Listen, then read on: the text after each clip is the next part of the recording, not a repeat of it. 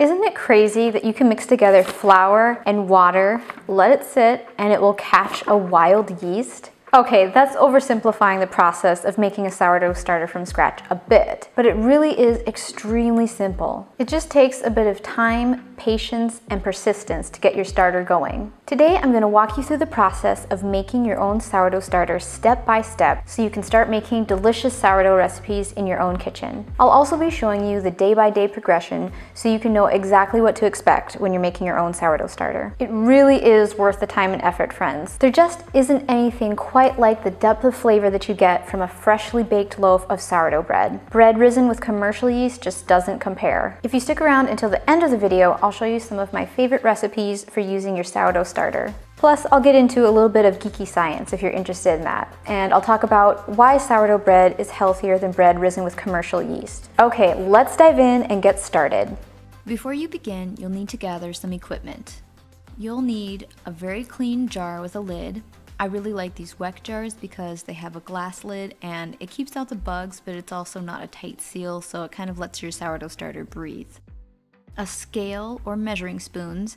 I really recommend using a scale because then you don't have to continually dirty up your measuring spoons a rubber band or a sharpie to mark the height of the starter. I like using a rubber band because then you don't have to erase it each time. And a spatula or a spoon for stirring.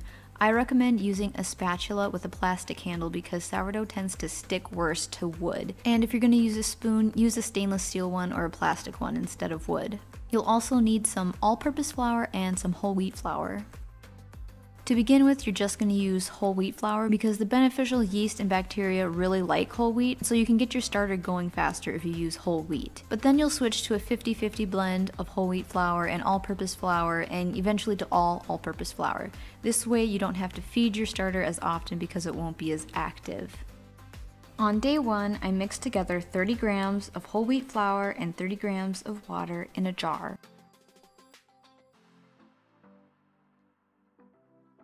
I marked the height of the starter with a rubber band, and I placed a lid loosely on top and set it aside. Day two, the starter was kind of gray on top with maybe just a tiny bit of hooch or liquid on top. There was no rise and little to no bubbles. I discarded all but 30 grams and fed that with 30 grams each of whole wheat flour and water. By the way, you can just save all of your discard and put it in a jar and store it in the fridge, and then once you have about a cup, you can make pancakes. On day three, the starter had doubled, was bubbly, and smelled slightly sweet, kind of like sprouted wheat. I fed it the same as day two. Day four, the starter had doubled the night before by 6 p.m., but I didn't feed it then because I had a headache. The next morning, day four, at about 9.15 a.m., it smelled sour, kind of like baby poo. I discarded all but 30 grams and fed that 30 grams each of whole wheat flour and water. That night at 9.53 p.m. it had doubled and it didn't smell quite as strong, and I fed it the same as I did in the morning. Day 5 at 8.11 p.m. it had only risen a bit above the rubber band in about 24 hours. It smelled acidic and had a bit of liquid on top, and I fed it as before. On day 6, I mixed together a 50-50 blend of whole wheat flour and all-purpose flour. At 10:11 p.m. on day 6, the starter had risen a bit above the rubber band and there was some liquid on top, but not a lot, and it smelled acidic. I fed it 30 grams of the 50-50 flour mix and 30 grams of water. On day 7 at 10:40 a.m., the starter had risen a bit above the rubber band and it smelled a bit acidic and kind of like baby poo, and there was a tiny bit of liquid on top. And I fed it the same as the previous day. At 10.15 that night, it had only risen a bit above the bam, but it was starting to smell more pleasant. I fed it the same as in the morning. At around 10 p.m. on day 8, it hadn't risen much, and I started feeding it with 100% all purpose flour.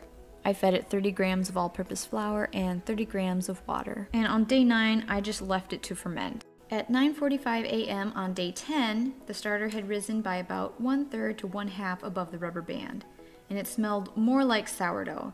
It was pretty liquidy, so it probably was pretty fermented, and also pretty hungry. I fed it the same as the day before with all-purpose flour. At around 10 that night, it had basically doubled and it smelled more like a mature sourdough starter. I fed it the same as in the morning. At 9 a.m. on day 11, the starter had doubled and it smelled pleasantly yeasty, and also it passed the float test, so I knew it was ready to be baked with. I fed the starter as the previous day and I took the discard and fed it with enough flour and water to make one cup of starter.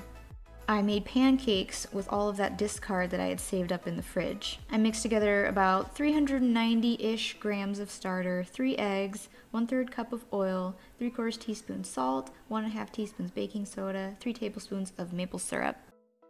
And they were yummy. That night, I used the cup of sourdough starter that I mixed together to make some bread dough, and I let that rise overnight, and then I formed it, and the next day I let it rise, and I baked it into some delicious bread. So yay, my starter was mature enough to raise bread. I continued to feed the starter daily until day 15. Since my starter was over two weeks old, it was strong enough to be able to store it in the fridge. I fed it one last time and then I put it in the fridge for one week. After a week, I pulled it back out of the fridge and fed it, and it doubled and was bubbly, but the true test was baking with it. So I made a second loaf of bread, and it turned out beautifully. So the sourdough starter was definitely mature enough to live in the fridge and be fed once a week. Okay, let's geek out a tiny bit and talk about the science about how sourdough raises bread and also discuss the health benefits. So there's yeast and bacteria everywhere around us, in the air, on surfaces, on our hands. When you're making a sourdough starter, you're capturing that yeast and then you're feeding it and helping it to multiply and grow stronger. You're basically creating an environment where yeast and bacteria can thrive. That environment is warm and wet. But you only want beneficial, not harmful bacteria to thrive. So the environment must also be very clean. That's why you want to make sure all of your containers, utensils, and your hands are thoroughly washed when you're working with your starter. Now, when those beneficial yeasts and bacteria that you captured are fed, they create carbon dioxide, which creates bubbles, which is what raises the bread. So that's just kind of like a basic overview of how sourdough works. Now let's talk about the health benefits. When you long ferment bread with sourdough, you're basically basically pre-digesting the bread a bit, which makes it easier for you to digest and absorb the nutrients. Whole wheat contains a plant toxin called phytic acid. Phytic acid blocks certain nutrients from being absorbed by our body, which can result in deficiencies. But sourdough helps to break down this plant toxin so you can digest the nutrients in the bread easier. Sourdough bread is also slightly lower carb than regular bread, and the yeast and bacteria can even break down some of the gluten in the bread. So if you have a slight gluten intolerance, eating sourdough bread could be easier on your tummy. Okay, here are some of my favorite ways to use my sourdough starter. Sourdough discard banana bread is a great first sourdough recipe because it doesn't require a long fermenting time. You just pour the starter into the batter, mix it up, put it in the pan, and bake it, and then you have some delicious sourdough discard banana bread. Another great beginner recipe is sourdough waffles. My recipe uses an overnight batter and these are just incredible. They're crispy and yeasty and delicious. Another easy recipe is my sourdough tortillas. These only require five ingredients and the dough is really easy to work with. These also don't require you to raise a loaf of bread, so they're a little more forgiving. Once you're feeling a little more confident in your sourdough skills, you could move on to my sourdough pull-apart rolls. This is my all-time most popular sourdough recipe on my blog and for good reason. These are pillowy, soft, and delicious.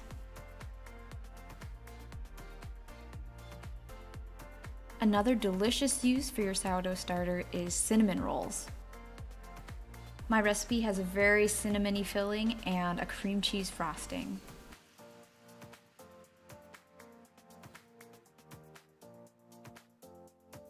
Once you're feeling quite confident, you can move on to my sourdough sandwich bread.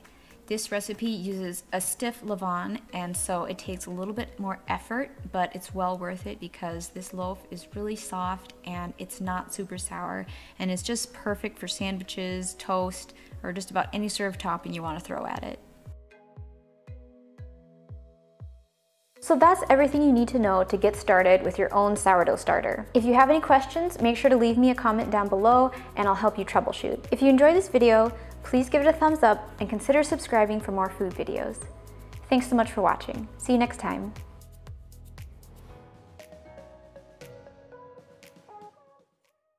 Bread. If you enjoyed this video, please hit the like button. Are you really good at? I am really good at making sourdough.